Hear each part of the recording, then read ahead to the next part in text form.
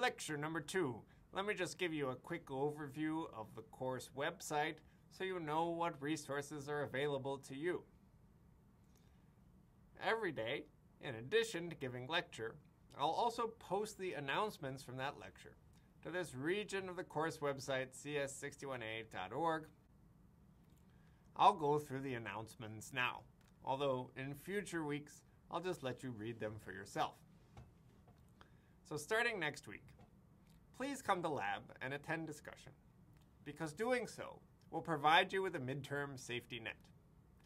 What that means is, if you get a particularly low score on the midterm, you'll earn some points back just for having participated in lab and discussion section. Now, if you get a high score on the midterm, then attending these things won't affect you directly, except for that the reason you got a high score might be because you attended lab.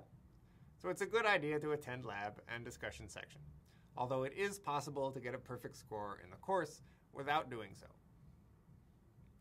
Homework 1 is due next Wednesday. It will be released on Friday. All homework is graded on effort in this course, but effort means that you make progress on every problem, and then you get full credit for the homework, two points out of two points. Look, the way we measure effort is first we check to see if you got the problem right. If so, we assume you put some effort into getting the problem right, so you get full credit.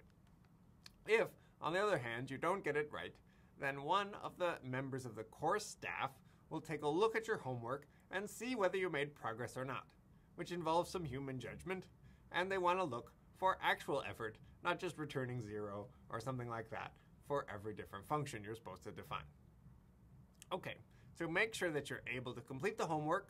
We have a homework party next Tuesday from 5 to 6.30 p.m. in 2050 Valley Life Science Building. The homework's due on Wednesday, and then that day, a quiz will be released. The quiz is something you do at home with a computer. It's similar to the homework, actually a little bit easier than the homework, but you have to complete it by yourself and in only one day, and it's meant to help you test whether or not you're keeping up with the course so far.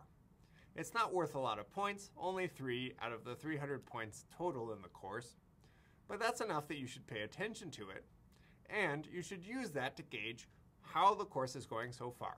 And if it doesn't go well, then you should think about changing the way you approach the course, either by allocating more time to it for more homework parties or something like that. Uh, if you want to ask questions about lab and homework assignments, come to office hours. You can go to cs61a.org slash weekly, which is also linked from the weekly schedule here. On the weekly schedule, you'll see all of the lab and discussion sections. If you ever miss a lab, you could just go to a different lab. And it also has, in blue, all of the different office hours, which started this Thursday. There's a few on Friday, and next week there's a whole bunch and you can see where they are by clicking on them. This one's in Garbarini Lounge. Where's that? Well, if we go back to the announcements, you'll see that I made a map for you. This map shows you where Garbarini Lounge is and 240 Bechtel, the other location for office hours. These are in the Bechtel Engineering Center, which is somewhere in the middle of campus. There's Memorial Glade. And these office hours happen all the time just like I showed you on the weekly schedule. The last thing you need to know is that you really need to register a class account, which is what you do in Lab 0. If you haven't received a class account form, talk to your TA. If you don't have a TA because you haven't gone to lab or discussion, that's not good. Go to lab, go to discussion. You will get account forms there. Please register even if you're on the wait list or applying for concurrent enrollment. Just act like an enrolled student and we'll try to get everybody enrolled as soon as possible. Okay, so that's the announcements section of the course website. You can also discover other stuff that's going on here, but most importantly, you can find the videos, and you can find the examples from each lecture, and the slides. So if you want to find uh, a link that I showed you in lecture, usually you just open up the slides, go find the link, like here's a link to the course website, click on it, and you're right there where you were before. Everything I show in a browser, I usually link to from the slides. You'll also find lab and discussion handouts and all the assignments on the course website.